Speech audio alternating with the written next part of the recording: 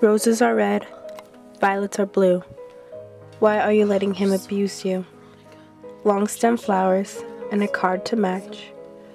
Sweet soothing words for another dispatch. Elegant gifts he spent half his paycheck on. It seems like one minute he cares and the next he's gone. Loud vicious screaming, have you done something else wrong?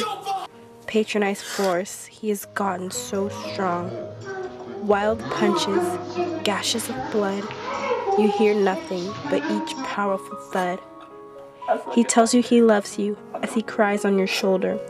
He's sorry that he hurt you, but it's too late now, you're black and blue.